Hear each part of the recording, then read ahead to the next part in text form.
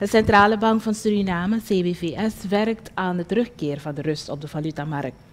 Governor Robert Gray van Tricht heeft, middels, heeft inmiddels overleg gevoerd met de centrale banken, wisselkantoren en overige stakeholders.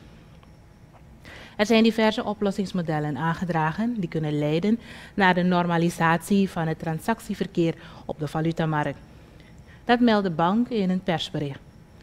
Voorts meldt de bank dat de recente ontwikkelingen op de valutamarkt geen weerspiegeling zijn van de economische prestaties van het land.